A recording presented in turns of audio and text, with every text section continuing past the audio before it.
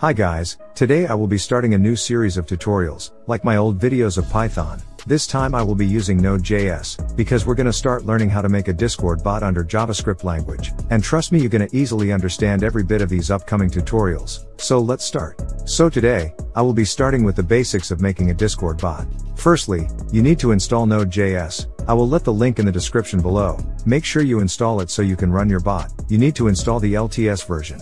Because it's more recommended for Discord bots. I already have it in my computer, so I will cancel this up.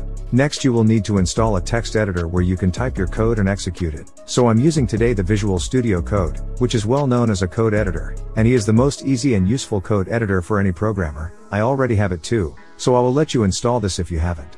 Now you have to create a new folder where we can put the needed files while making this bot. You can name it anything you want. Now type cmd in the search bar of the file explorer and hit enter. You will see a command prompt pop up. Type npm init-y, and a package.json will be created. After that you need to install the needed modules that we're gonna work with them. Type npm i discord.js and dotenv. If you didn't recognize this last one you're gonna understand when we're gonna start coding. Now type code. to open the VS Code in our bot folder. Now create a new file called index.js. This will be the main JavaScript file that we will run to start the bot. Now follow me up. You're gonna need to import the client object from our module. Then type this line of code to config the .env module so we can make a new environment that we're gonna put in our Discord bot token so no one can see it. And that by creating a new file called .env, then you're gonna need to provide your Discord bot token like this. Open the Discord developer portal that I'm gonna leave its link in the description below. Follow my steps.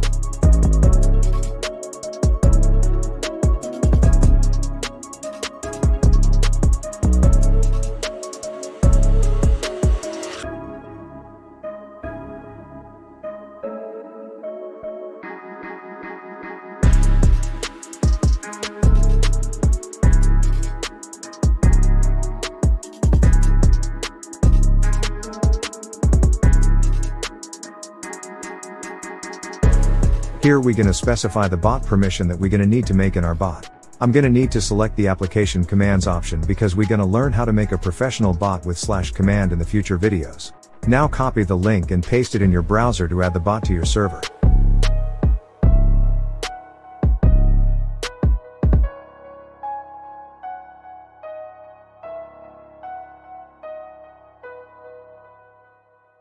Now we need to make a new client. Just follow my steps and do like what I'm doing. Here we gonna specify the intents that the bot gonna need, because the bot can do what he does like sending messages or reading commands by specifying his intents, like his permissions, but not the same thing.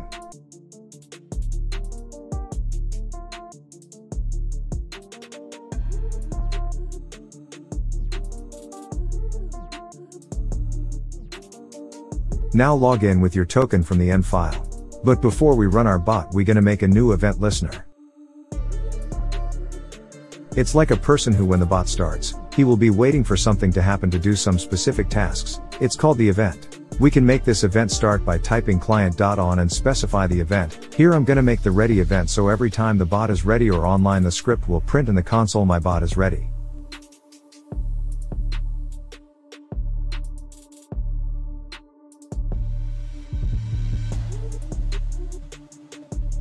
But before we run our code you need to start debugging it for the first time so he can run without any problems. Just click the start with debugging right there.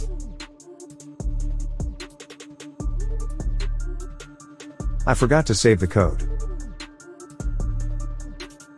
Now we can see that the bot is running it online. After that you are not gonna need to debug the code you can just run your code with this command. But before we end this video, I will show you a good trick for your code, type npm install or i nodemon. This module will make your code restart itself after saving a new change to your code so you are not going to need to type node. Dot every time you need to start the bot. You need to add a script to the package file so your bot gonna start the code under nodemon every time you type npm run dev. So as you can see, I'm gonna change something in my code and save it without running the code again and again.